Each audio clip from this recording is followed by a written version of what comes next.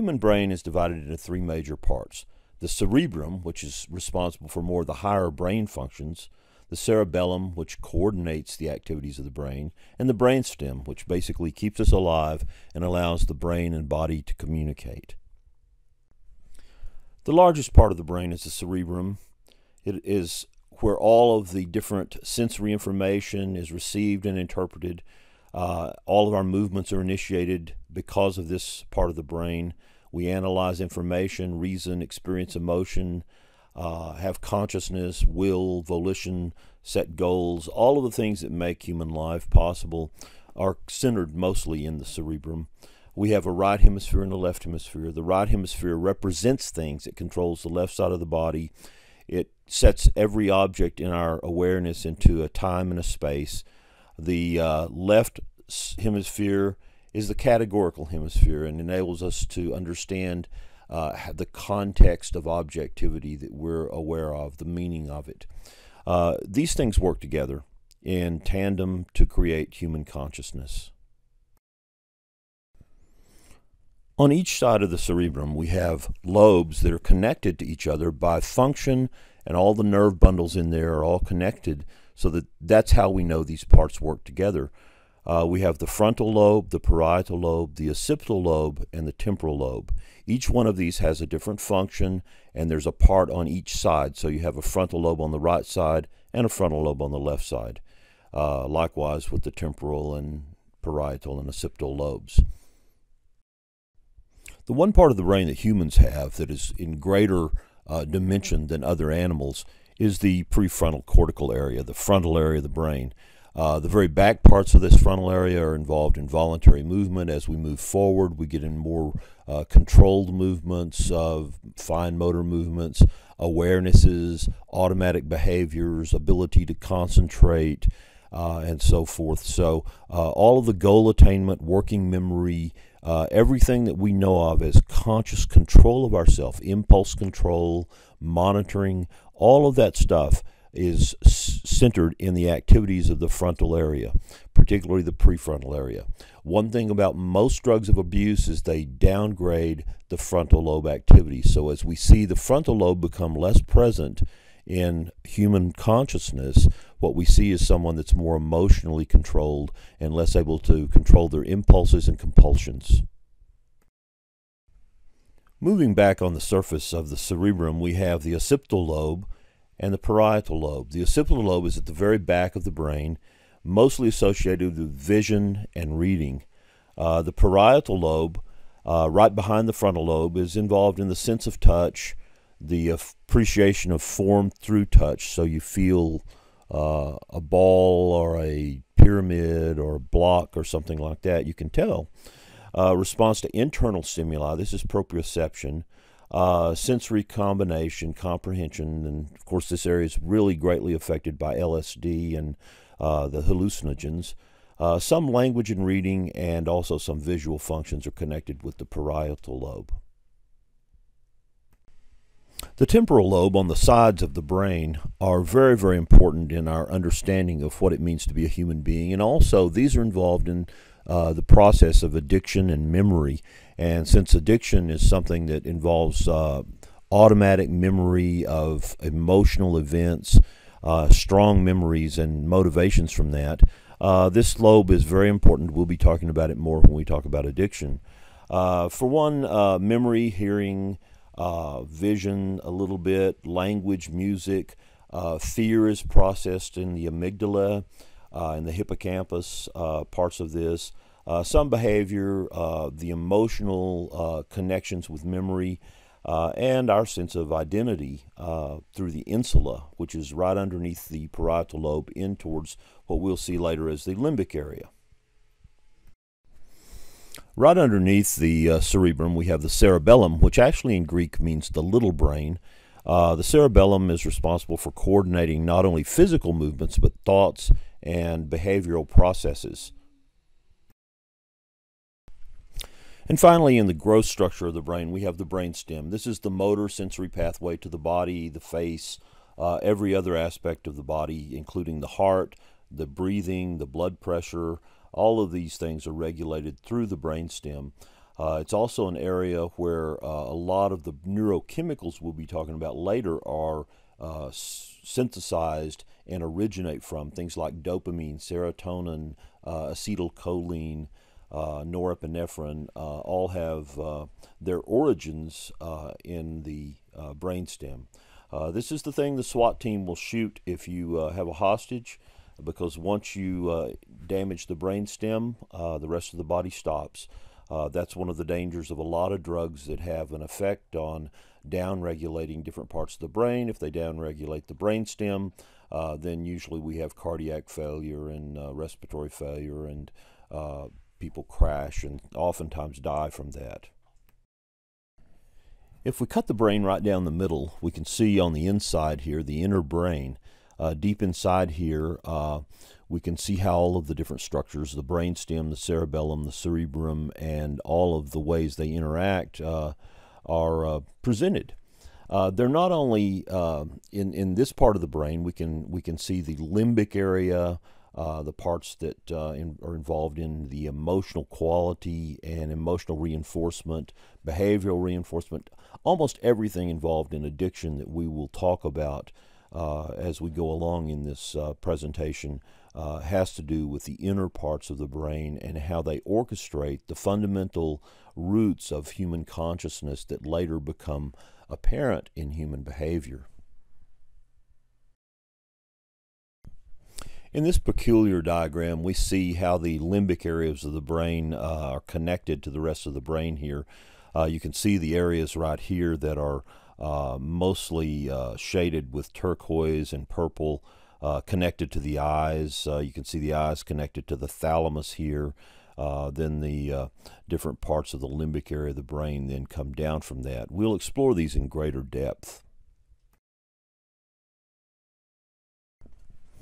These are some of the major structures of the limbic area. We have the amygdala, which is the area that uh, infuses our awareness with uh, emotional connection. And this is all happening, everything that happens in this area is done before we're even conscious of it. So uh, the amygdala is our fear processor, it's also our uh, gradient processor for emotional stimuli. And that way we determine how much incentive we have uh, for our behavior based upon how much the amygdala registers.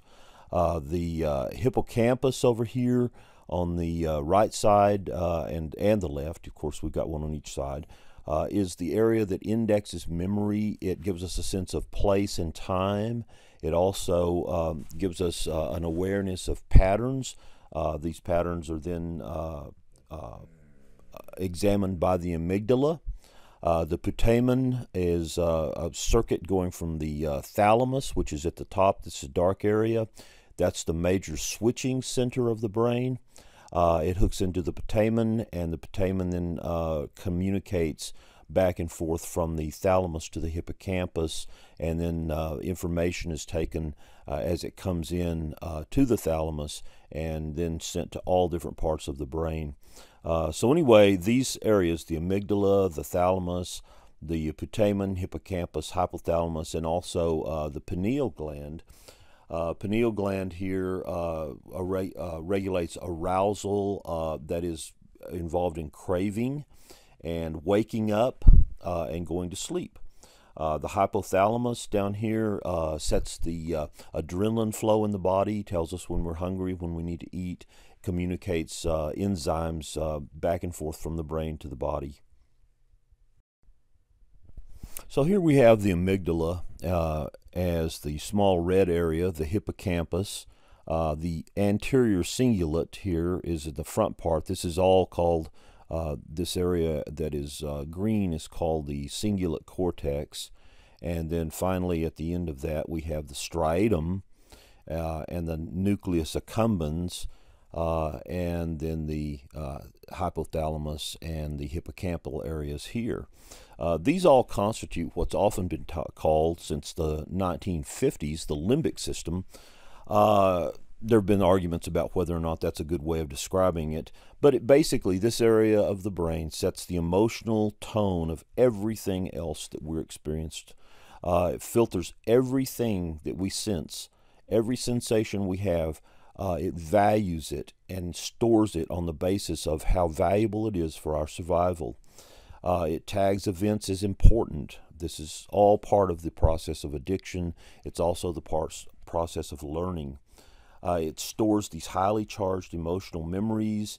It uh, modulates all of our motivation, controls our uh, appetite, uh, our awakeness, our sleep cycles, our craving, our compulsion, our impulse.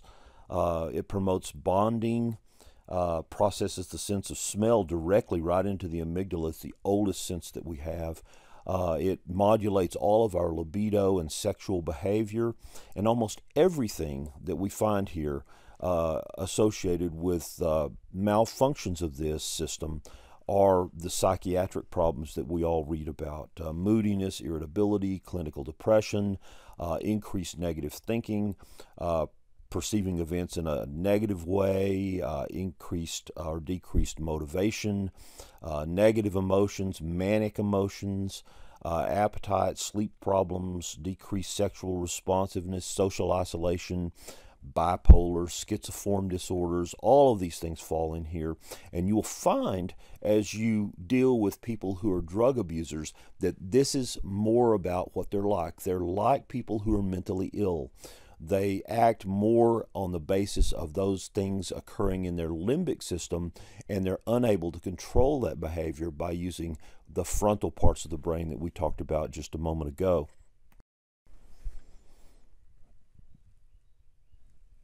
As we look more into these limb- structures of the limbic area, we can see the thalamus, which is the center of the picture here. And right below that, we have the hypothalamus. It's connected right next to the amygdala and the hippocampus and all the different parts of the inner workings of the brain here, the limbic areas. The hypothalamus is really interesting. It's the part that sets up our automatic stress response. So when you're walking along in the woods and you see something brown and it's large and you respond immediately as if you've encountered a bear, uh, this automatically processes that. You're not even conscious by the time these enzymes have gotten into your blood, activated adrenaline uh, from the adrenal glands and over by the kidneys, and cortisol then goes completely throughout the, the blood system. Cortisol then turns into uh, something that actually modifies the brain and changes the body in a large way. That's why stress kills. It also is very important in understanding some of the uh, things that happen during addiction. So, anyway, the hypothalamus uh, wakes you up in the morning. It uh, gets your adrenaline flowing. It's uh, very important in your moods, your motivation. Uh, hormonally, it's important for sexual maturation. Uh, it helps regulate temperature by working with the brainstem, and it's also involved with almost all of the hormonal body processes, uh, all the way into the uh, thyroid, into the uh, medulla of the adrenal glands, and so forth. So uh, it really sets up all of the emotional interact. Uh, I'm sorry, enzymatic um, interactions uh, with the body uh, over a period of uh, uh, just a few seconds uh, after you've experienced an emotional moment. the thalamus on the top here is the major clearinghouse. It's it's the switchboard of the brain, and LSD will affect that, and it'll start sending. Uh, information from one sensory area to another, and they call that synesthesia when the senses overlap. So we'll see more about that as we talk about LSD. Looking deeper into the inner brain, the limbic area, we see the hippocampus here.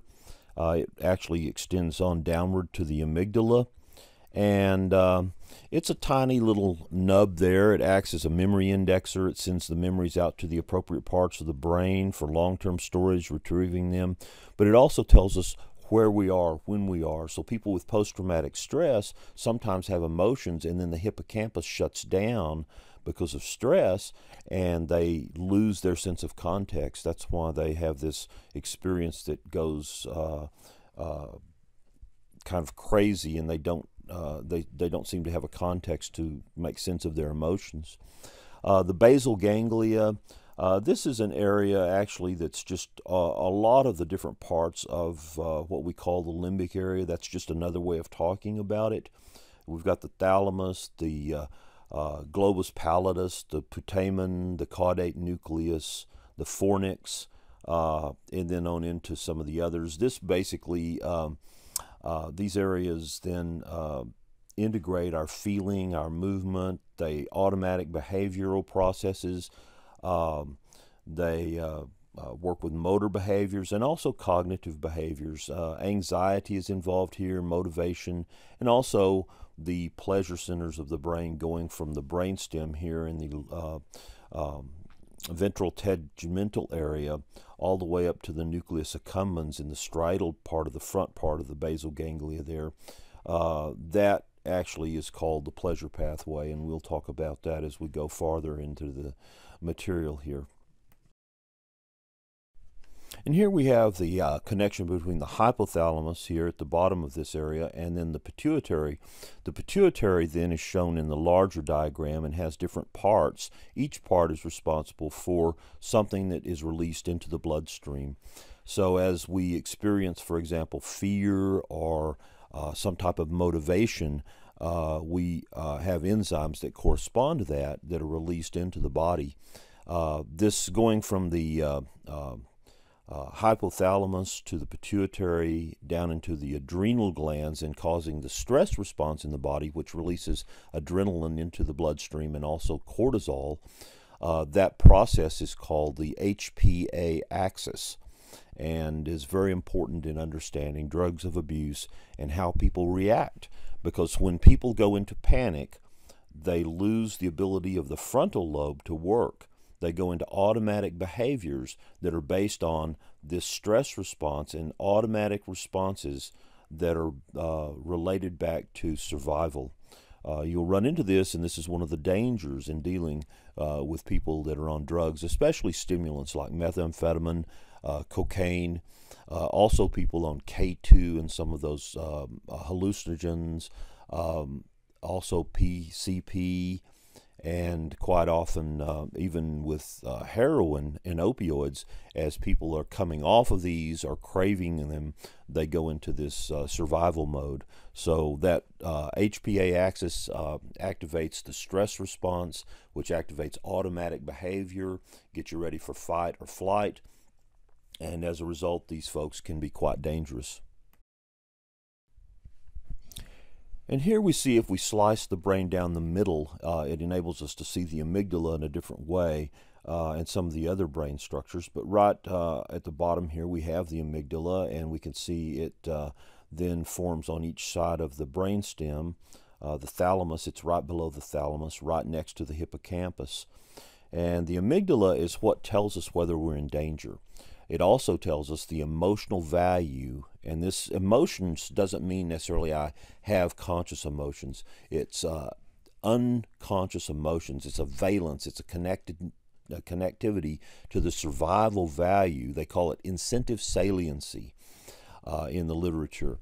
And so uh, the amygdala attaches incentive saliency and coordinates behaviors uh, automatically with the body that are before we're conscious, that happen without our volition, without our ability to think about them. Uh, in law enforcement, this is quite often the case with uh, a gunfight, for example. We don't have time to do a lot of thinking. Uh, what we end up having to do is react. And so, this is the reaction part of the brain. It's a very dangerous part uh, for law enforcement uh, when people are working uh, completely off of their amygdala. And this is quite common with drugs of abuse. As we take a closer look at the amygdala, we can uh, examine how the actual biology of it works with uh, an, an, event that happens in our life. Uh, a sound occurs, and the auditory uh, part of the brain then speaks to the amygdala. It immediately goes from the thalamus to the uh, auditory cortex. Uh, that sound, let's say it's something that causes an immediate behavior, goes to what's called the central nucleus of the amygdala, which sends a signal to the hypothalamus to put us in a stress, uh, fight or flight situation. It sends a, a signal to the brainstem to flinch, to freeze, to start fighting. And then only after that does it go back down here. It sends something up to the regular part of the brain that gives us an emotional experience, and we can then evaluate what the amygdala is doing. I'll show this in the next slide. So, as we have that sound occur, the auditory thalamus then uh, immediately sends the signal down to the amygdala. The amygdala then immediately starts our behaviors freezing, blood pressure change, stress hormones, startle reflexes. Uh, it also involves the medial prefrontal cortex, which is the part that uh, initiates a, a, defensive behavior or a learned response. Uh, the hippocampus invests this with an emotional uh, contextuality and a pattern recognition. And finally, all of this goes up to the auditory cortex, which is the part of the brain that actually evaluates things, and then that goes down to the medial frontal cortex that then controls or re regulates the behavior. So imme- immediately people respond. This is involved in the certain types of psychosis that are associated with stimulant use, uh, meth psychosis. People stay uh, cured up in this area. Uh, where they're uh, immediately responding to their environment and they're in the fight or flight mode quite often. Very, very dangerous for law enforcement and emergency workers at all levels. The amygdala can be trained so we can learn a threat and we can also learn a response to that threat. So this is what uh, automatic training, it's what muscle memory is oftentimes called. Uh, but the uh, threat occurs uh, the sensory systems give it to the amygdala, which gives it to the motor systems of the body, which are the basal ganglia. And then our defensive responses automatically start after that. Uh, this is the way we respond to our environment, and the more we do this, the more our brain wires this way because what fires together wires together. And uh, that means that our brain, the neuroplasticity of the brain, is continually changing the brain to be more like what we're doing with it. Uh, that's why it's important to have good habits. So, anyway, uh, this can be learned. Uh, it's what's the basis of a lot of uh, emergency professions like uh, jet fighter pilot uh, training or military training, law enforcement training, emergency services training, so forth. all of this becomes automatic behavior after a while. Uh, so the amygdala and the way we have automatic behaviors in response to a crisis uh, can and, and is trained oftentimes. Neuroscientist uh, Joseph LeDoux uh, has done extensive research with this emotional uh, amygdala response to our environment. And we can see this diagram. He characterizes one way of dealing with the environment as the low road, uh, and that is that the uh, stimuli comes into the thalamus, it goes to the amygdala. Immediately, we have an emotional response, and we're not conscious of this per se. It doesn't hasn't entered our arena of being conscious yet. Um, on the other hand, this emotional stimuli uh, comes into the thalamus. At the same time, it's sent up on a slower route uh, to the parts of the brain called the sensory cortex, uh, which then go into the prefrontal area and uh, evaluate what's going on here. These will correct the amygdala, and uh, as we see in uh, the decrease of this frontal area of the brain, the frontal lobes, uh, in drugs of abuse, um, we'll see uh, more and more disinvolvement of the frontal areas, the part that evaluate this. So we'll see this uh, corrective uh, movement or corrective action of the frontal area of the brain on the emotional area of the brain uh, become disconnected and it won't happen. So people will be more emotional, they'll be less in control, and they will be more uh, prone to violence and panic and fear. Uh, so this uh, was done, uh, this high road and low road was done by Joseph LeDoux. people that are drug abusers are oftentimes caught in a uh, cycle of living in this low road. And here we see how all of these things work. Uh, the hippocampus gives our context, uh, the amygdala and the ventral tegmental area going up to the nucleus accumbens give our, our savoring and satisfaction. Um, the uh, uh, orbital frontal con, uh, cortex gives us our ability to appraise this and to judge it. Uh, the insula, which is in the uh, temporal lobe, uh, gives us our sense of self and identity and feeling. Uh, habits are involved in the dorsal striatum. This is all part of the uh, basal ganglia. And the amygdala sets our reactivity tone. All of this is the mix uh, that constitutes the day to day ruling by the limbic system of people who are involved in using drugs uh, for abuse or have uh, suffered brain injuries because of drug abuse. And so we've seen how the brain constitutes who we are, what we are, everything that we know, everything that we do. To fully understand drug abuse, it's necessary to understand the workings in structure and function of the target organ of drugs, the brain, emphasizing uh, everything that we're aware of, what we see, know, feel, touch, dream, all the concepts world, universe, reason, God, everything that we have access to in life. In fact, the human form of life itself is due to the activity of the brain. As the brain changes, so does our world. Things look different, have different significance, and we see ourselves differently. Our behavior becomes altered to match the change in conscious life. Drugs alter the brain, therefore altering conscious life. We are our brains. We change our life with drugs.